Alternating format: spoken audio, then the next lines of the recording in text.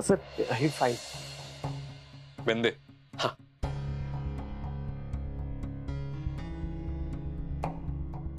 प्रेम आणि लग्न। या जगातल्या दोन सगळ्यात फालतू गोष्टी आहेत. हो सर. तुमच्यासाठी. नाही म्हणजे दोन्ही गोष्टींचा अनुभव नाही ना मला म्हणून म्हटलं. कळत नाही मला आता विक्रांत आणि आरतीचं लग्न कसं लावून देऊ. सर पुन्हा काही घोळ झालाय का?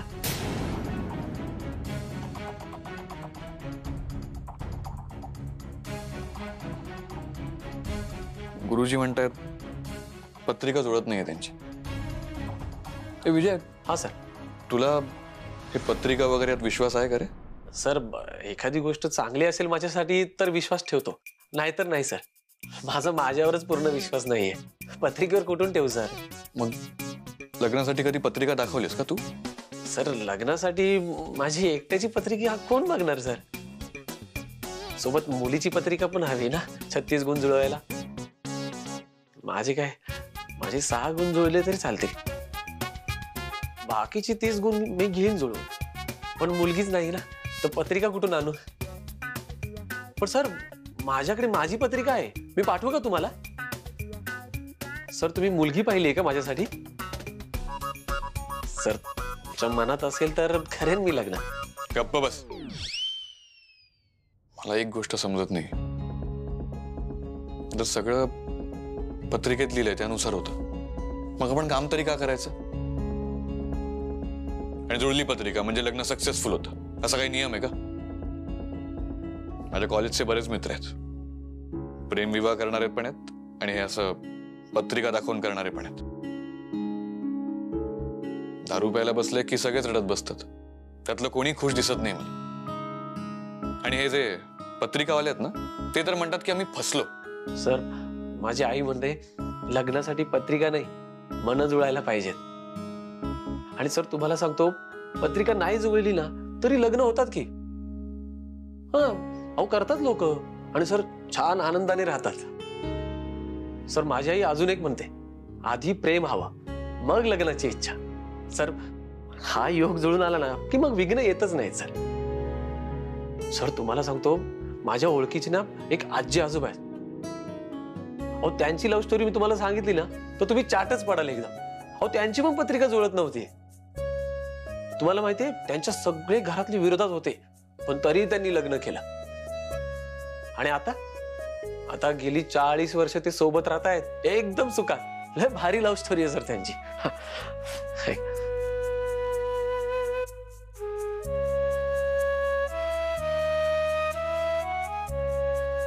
खरं सांगतोस ना तू? हो सर. आई शपथ. तुमचा विश्वास नसेल तर मी चला तुम्हाला घेऊन जातो त्यांच्याकडे. हा?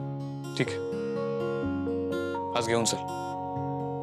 पण मी तुला सांगेन तेव्हा आपण निघूया. हं? आणि विजय आज मला तुझी खूप मदत लागणार. सर मी दोन पायावर तयार आहे सर. कारण सर मला अजूनपर्यंत कळलेलं नाहीये की एका पायावर कसे तयार होतात. सर आपण एका पायावर उभं राहून पॅन्ट घालताना किती तारांबळ होती नाही? ये तू हं. ठीक आहे सर.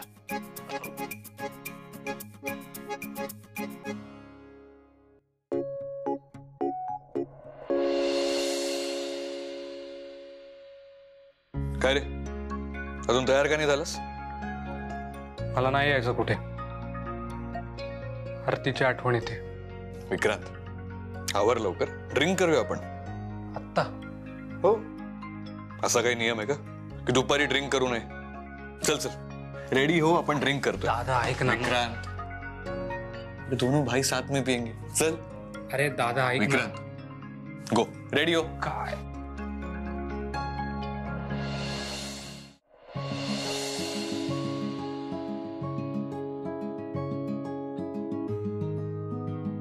काय रे? कुठे निघालात?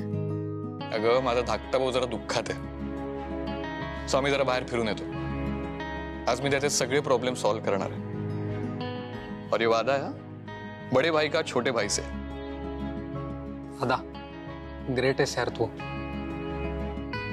आई जाऊ ना मी. आई डोंट वरी मी काळजी घेईन त्याची. तू पण जा आता आराम कर. त्याला अजिबात नजरेआड होऊ देऊ नकोस प्लीज आज तो माझ्या नजरेसमोरच राहणार. आणि तू अजिबात काळजी करू नकोस. मी आहे ना? चला.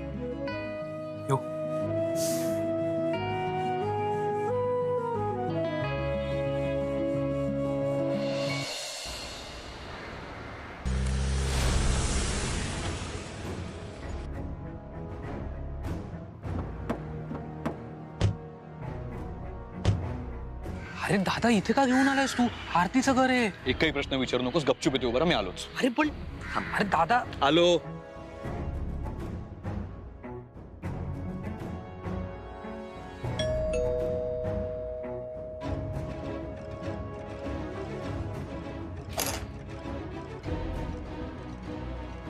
तू?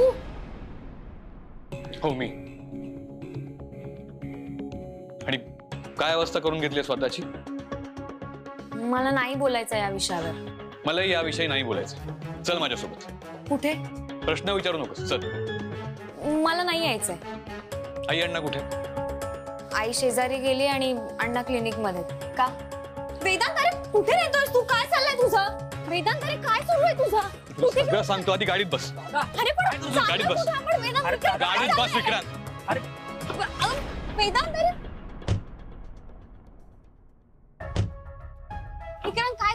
दादा हे काय चाललंय? गप्प बस. कुठे चाललोय आपण?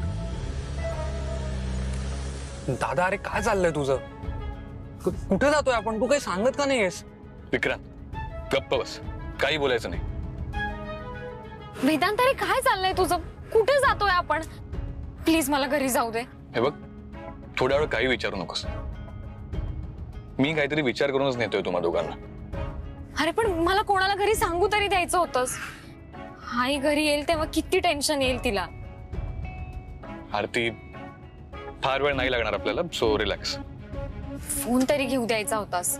असंही सध्या कोणालाच फोन करायचा नाहीये. सो तू थोडा वेळ शांत बसून राहा. अरे पण आरती मी हे सगळं तुम्हा दोघांसाठीच करतोय. So relax and trust me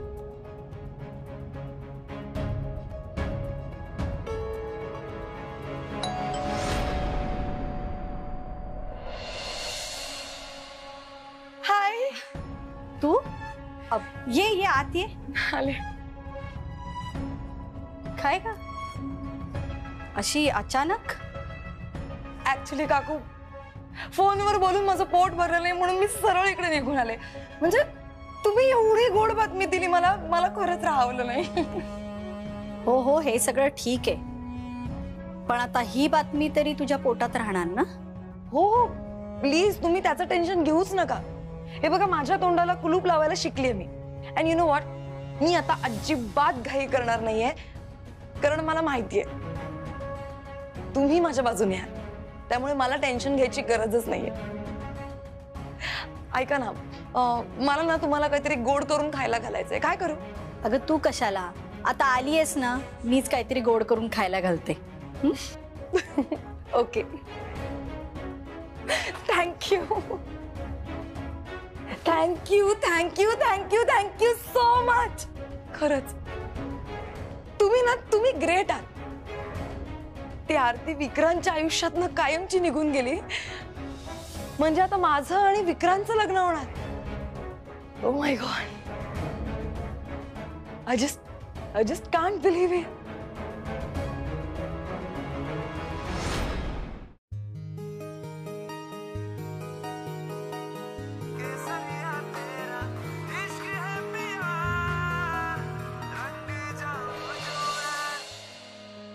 hi बोल. अमूल्य आरती कुठे आहे? ताई घरीच असेल ना? अगं घरी नाहीये ती. म्हणून तर विचारते तुला. मी जरा बाहेर गेले होते घरी आले तर दार उघड होतं फोनही तिचा इथेच दिसतोय. आणि तिची पर्सही खोलीतच आहे. कुठे गेली असेल ग? आई हे बघ तू तू टेन्शन घेऊ नकोस. मी आलेच मी मी लगेच निघते. ये.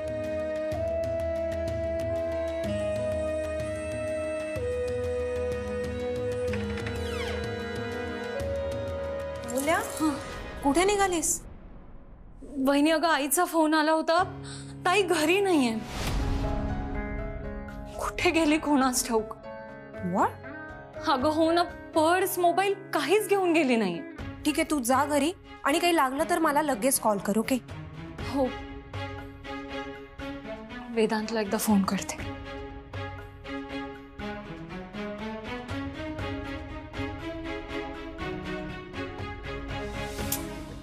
वहिनी हा फोन नाही उचलत आहे. तू प्लीज त्याला सांग मी निघते घरी. हो मी सांगते त्याला. तू जा सावकाश जाणार हो मी निघते.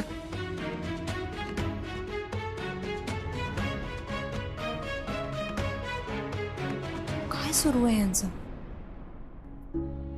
काहीच का सुरळीत होत नाहीये विक्रांत आणि आरतीचं? पण अशी न सांगता गेली कशी आरती? काय माहीत मी जरा शेजारी गेले होते हो. आजचा दिवस जरा घरी थांबायचं. बरं तुम्हाला सांगितलं होतं मी तिच्याकडे लक्ष ठेवा जरा म्हणून. अहो मी एवढा वेळ तिच्याच बरोबर होते ना? तिला सांगून गेले अक्षरशः अर्धा तास पण झाला नसेल जाऊन. घरी आले दार उघडं होतं सगळीकडे बघितलं कुठेही नाहीये ती. फोनही इथे ठेवून गेली बघा. म्हणजे फोन पैसे काहीही न घेता गेले ती.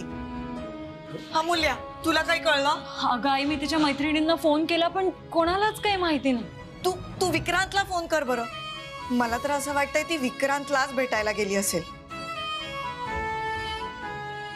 मनाची अवस्था अशी असताना कशाला घराबाहेर पडायचं? तू फोन लाव ना विक्रांतला. आई अगं मी वेदांत विक्रांत दोघांनाही फोन लावला. आधी विक्रांतलाच लावला पण दोघाही फोन उचलत नाही. काय माहिती कुठे गेली? हो काही करणार नाही ना ती.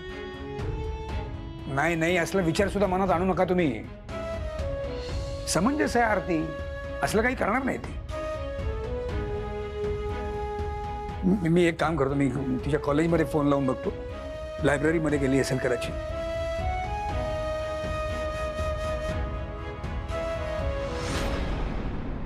मला ना खरंच कळत नाहीये. तुम्ही हे सगळं नक्की कसं घडवून आणलं? म्हणजे असं वाटतंय अचानक अचानक जादू झालीये काहीतरी. अगं जादू काय आहे त्यात? काय आहे ना सारिका? माझ्या मुलांना मी फक्त आई म्हणूनच माहितीये. राजकारणी बाई म्हणून माहितीच नाहीये. त्यांच्या जन्माच्या आधीपासून मी राजकारणात आहे. त्यामुळे आपल्याला नको असलेल्या व्यक्तीला कसं बाजूला काढायचं हे मला चांगलं माहिती आहे आणि असं बाजूला काढायचं की ती व्यक्ती परत आलीच नाही पाहिजे. अगं राजकारणात होते म्हणून तर ह्यांना भेटले. लग्न झालं. आणि एक गोष्ट शिकले. की लोकांच्या मनामध्ये धाक कसा निर्माण करायचा? त्यांची मतं कशी बदलायची? आरतीला विक्रांत जितका ओळखत नसेल ना तितकी मी ओळखते. तिचे सगळे वीक पॉइंट्स मला माहिती आहेत. वाव ओ माय गॉड तुमच्याकडनं खरंच खूप गोष्टी शिकण्यासारख्या आहेत. नाही पण मी शिकेन हळूहळू. आता तुमच्या बरोबरच राहायचंय ना? हो तर? मी पण त्याच दिवसाची वाट बघते. आणि माझी खात्री आहे तो दिवस लवकरच येईल. हो. बरं. विक्रांत आहे का? मी मी त्याला भेटून येऊ? अगं नाही तो वेदांबरोबर बाहेर गेलाय. सारिका मी इतके दिवस तुला सांगतेय. थोडा धीर धर धीर धर. शांतपणे घे गोष्टी. पण आता वेळ आली आहे विक्रांतच्या मनामध्ये स्वतःसाठी जागा निर्माण करण्याची वेळ आता आली आहे. त्याच्याशी प्रेमाने वाग. त्याच्या कलाने घे. त्याचं मन तुझ्याकडे वळवण्याचा प्रयत्न कर. पण एक महत्वाची गोष्ट. आता मात्र कुठलीही चूक होता कामा नये. एक काम करतेस का? दोन दिवस इथेच ये ना राहायला. काय? इथे राहायला? मला चालेल. मी आजही येऊ शकते. येऊ का लगेच? सांगते. वेळ आली ना की सगळं सांगते.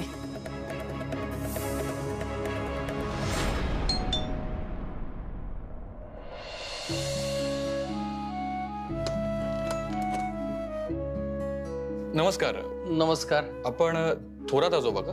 हो. विजयने सांगितलं होतं तुमच्याबद्दल. हा, या ना या या या. आजोबा शूज आ- असू दे असू दे. काय हरकत नाही. या या. या. ए गीतू हे बघ कोण आला नाही विजय तुमच्या कंपनीतच काम करतो ना? हो. अरे बघ विजयचे साहेब आले नमस्कार. नमस्कार. तुम्ही बसा मी पाणी आणते. बसा या या. या. बस.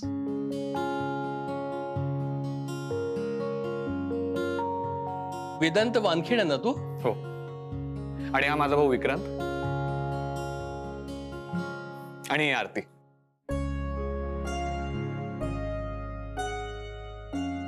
ठीक आहे पाणी. थँक्यू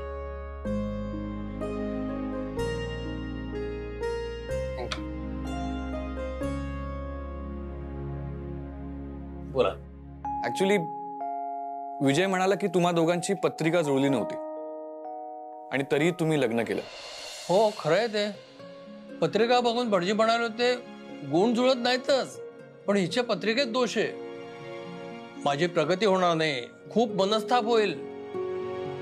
आम्ही वर्षभर सुद्धा सोबत राहणार नाही. पण आजही आम्ही सोबत आहोत. मनस्ताप झालाच तर तो नातेवाईकांचा. माझ्या आईने तर जेवण सोडलं होतं. हट्टालाच पेटली होती. लग्न मोडण्यापर्यंत गोष्ट आली होती. पण आम्ही दोघेही ठाम होतो. सगळ्यांचा विरोध पत्करला आणि लग्न केलं. लग्नाला कोणी आलं नाही. आता मात्र सगळे येतात बघतात. आम्ही आजही आनंदी आहोत. आम्हाला एक मुलगा आहे. तो परदेशात असतो. त्याने तर बायको पण तिकडचीच केली. तिची तर पत्रिका पण नव्हती. पण तरीही ते दोघं सुखात आहेत. दादा मला कळत नाहीये का आलोय आपण इथे? समजेल सगळं. पत्रिकेतले गुण जुळो न जुळो मन जुळली पाहिजेत विचार जुळले पाहिजेत. आणि पत्रिकेकडे बघत जगायचं म्हटलं तर आपली प्रगतीच होणार नाही. महत्वाचं काय एकमेकांना समजून घेणं. एकमेकांसाठी थोडे बदल करणं. छोट्या छोट्या मतभेदांकडे दुर्लक्ष करा. मोठ्या मोठ्या आनंदांना कवटाळता आलं पाहिजे. तेव्हा आयुष्य सुखाचं होईल. अगदी बरोबर आहे तुमचं. हेच ऐकायचं होतं. आजी आजोबा. तुमचे खूप खूप आभार.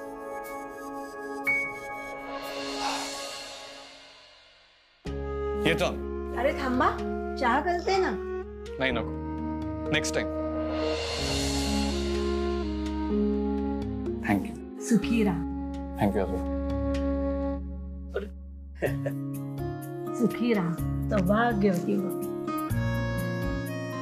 चला. निघूयात या पुन्हा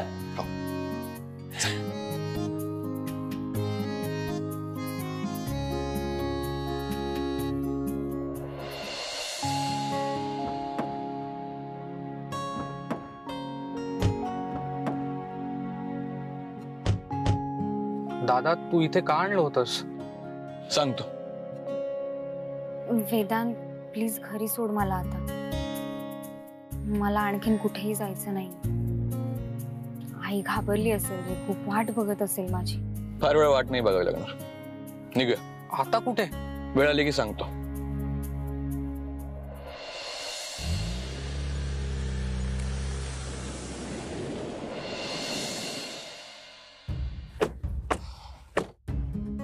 वेदांत अरे काय सुरू आहे तुझं?